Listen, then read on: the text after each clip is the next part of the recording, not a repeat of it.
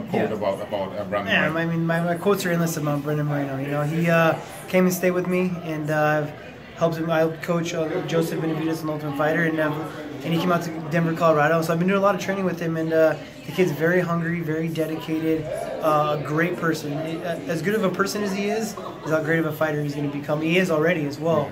Um, I'm very, very excited for this fight against him and Pettis, and I think he's coming out on top. What do you, what do you guys uh, work on the most? I mean, he's grappling, he's striking. A little bit of everything. He's, his grappling is amazing. Yeah. He's got great, great jujitsu. And so me rolling with him, I have to be on point or else I'm going to get choked. He's got an awesome rear naked choke. He's great on the back. Um, we, he comes and works a lot of our kickboxing technique with Duane. When Duane's in Southern California or myself. Um, and when he's out in Denver as well too. So Any Yeah. prediction? My prediction is he's going to get a rear naked choke on uh, Anthony Pe- or on uh, Sergio Pettis second round. Second Okay. round. Thank you, sir. Absolutely. Thank you so much. Of course. Thank you. See you.